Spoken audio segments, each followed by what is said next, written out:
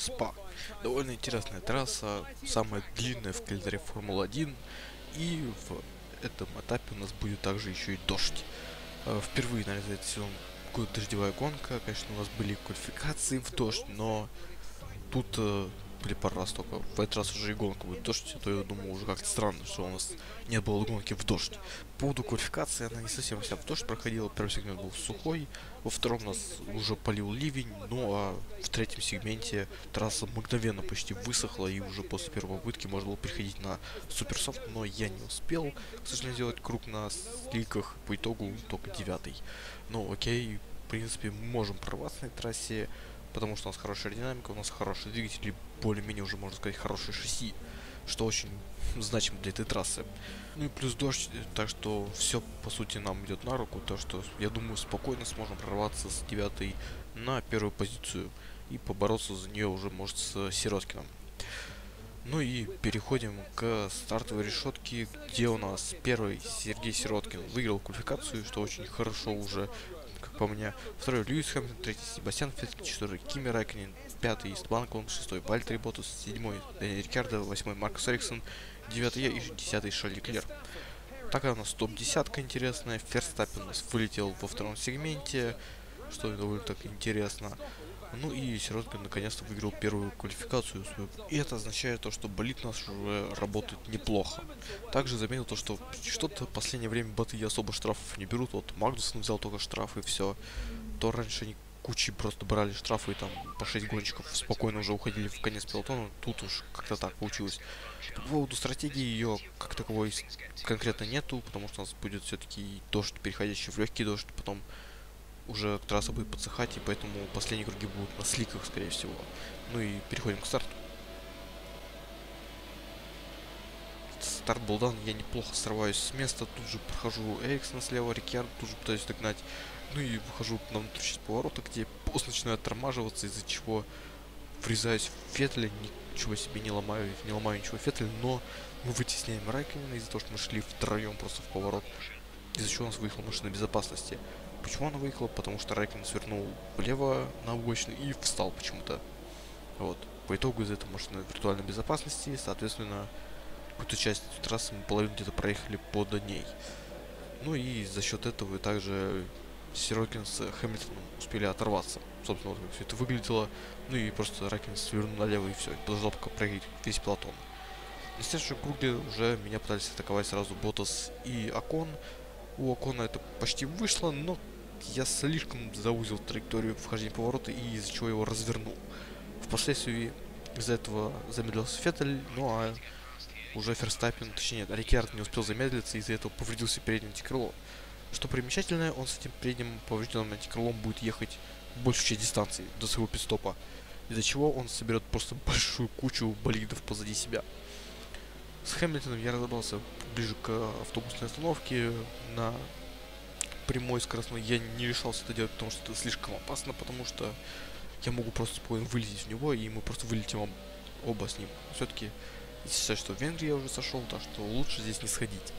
Быстро догнав Сироткина, я начал уже думать, где я его буду обходить. В поворотах у меня было просто большое преимущество, я просто смог подлететь к болиду и остаться за ним позади. Но Сироткин довольно интересные движения совершит в эске после скоростного левого длительного поворота а, он почему-то решит сместиться и мне больше показалось то, что это больше выглядел как э, Team Order, то есть э, будто ему сказали, типа, пропусти позади идущего с командника, из-за чего я врезаюсь в него, потому что думал по внешне хоть пройти, пытаться его пройти. Из этого я теряю левую часть переднего крыла немного. Также Хамилтон тут же догоняет, из-за чего он тут же проходит Сироткина. И я также еще помешал Сироткину нормально пройти поворот. Вот, я думаю, этому обрадовался больше Хэмилтон, потому что он тут же прошел Сироткина. И уже на прямой, думал, пытался меня как-то опередить. Но там не было особого места, потому что, опять же, в дождь довольно опасный вариант переезжать на вот данной скоростной прямой. Все-таки велик шанс того, что можно просто вылететь с гонки. Но, по сути, из-за того, что я заехал на пистоп, Хэмилтон выходит на первое место.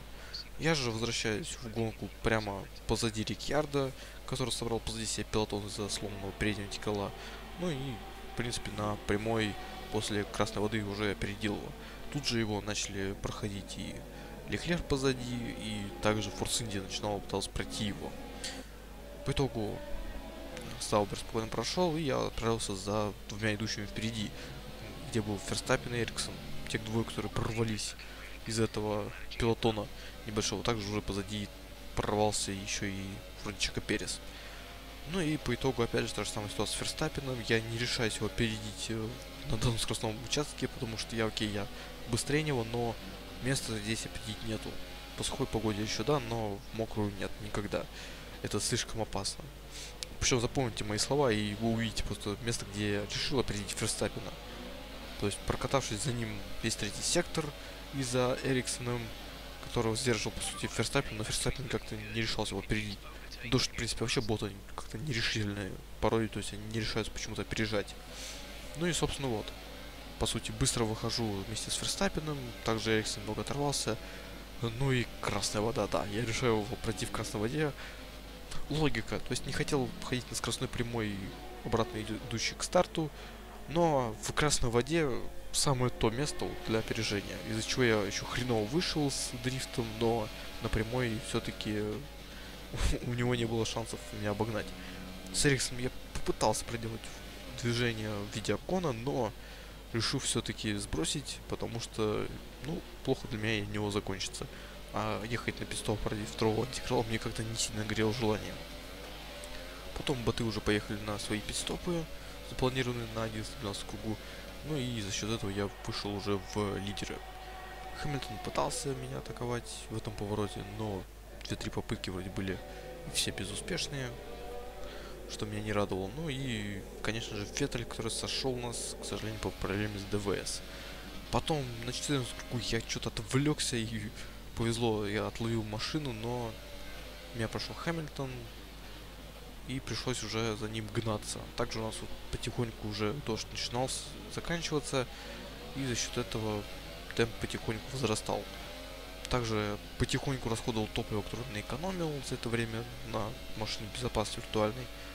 Ну и вот напрямую, собственно, без каких-либо проблем за счет слепстрима догоняю и обхожу по внешней траектории, потому что по внутренней как-то боты уже решили просто оттормаживаться. Видать, увидели то, что я делал с э, Чеко Пересом, или Оконом, да, Оконом, который меня пытался победить. Так что решились просто оттормаживаться. На 17 кругу у нас разрешено уже было использовать ДРС, из-за чего я сразу же сказал своему механику, что я буду возвращаться на питстоп, потому что это шанс просто поменять слики и просто кучу времени сразу отыграть. Потому что слики будут в данный момент уже работать. Если бы я это сделал на круг позже, точнее раньше, скорее всего я просто бы плавал бы и не мог нормально бы ехать. А боты решили почему-то на следующем кругу заехать. Хотя если бы поменял бы все-таки вот на этом кругу, как я резину, то, скорее всего, подиум был бы за нами. Ну, в принципе, окей, у него еще есть шанс побороться с Льюисом, но все-таки гарантированный вариант на сликах проехать, почему бы и нет. Возвращаюсь я все-таки перед Пересом, потому что разрыв был просто дикий. Опять же, из-за того же Рикиарда, который сдерживал большую часть пилотона, кто-то там также ехал за Ферстаппином Эриксоном и тому подобное. Ну и вот, собственно, пистопы я отыграл просто кучу времени, то есть по отношению к моему лучшему кругу, который был проехан на промежутке всего лишь 8 секунд проигрыша, а на пистопе я проиграл намного больше. Соответственно, из-за того, что все поехали на пистопы, я вышел на первую позицию, потому что, ну, я просто время кучу отыграл, опять же. Ну и, собственно, таким так выдался, конечно, немножко поначалу он был, так сказать, грязным, потому что я выбил Кими сначала из-за того, что мы втроем вышли в поворот. Я выбил Акона из-за того, что он решил по внутренней части поворота пройти меня, но, к сожалению, да. Я закрыл просто для него калитку и из-за этого вот так получилось. Также из-за этого Рикардо пострадал. Ну и имеем, что имеем.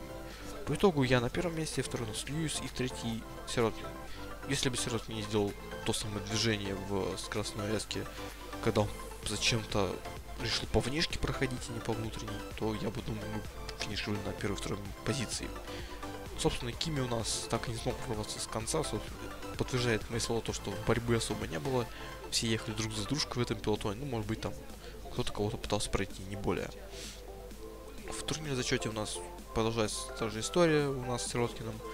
И в Кубке конструкторов мы также продолжаем лидировать. По контактам было не особо много, по большей части они были в начале, да и не более.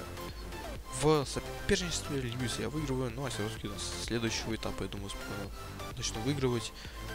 Собираем ресурсы, которые мы можем теперь потратить, наконец-то продолжать шасси апгрейдить. И со следующего этапа нам привезут просто кучу апгрейдов, опять же. То есть это будет, опять же, связано с понижением расхода топлива, большое обновление. Также обновление, связанное с распределением веса, то есть надо сейчас работать в, этой, в этом плане, потому что болит, пусть имеет довольно уже неплохо сниженный вес, но нужно работать над его распределением, чтобы он распределялся вес ровно по машине. Также думал взять э, модификацию, связанную с ERS, но потом подумал, то, что окей, лучше оставлю себе очки на будущий этап. Вдруг у нас, опять же, регламент, потому что обычно ближе к Монце как раз будет известно, будет его меняться или нет. На этом, ребят, с вами Вархаммер, подписывайтесь на канал, ставьте лайки и до скорых встреч, ребят, пока-пока.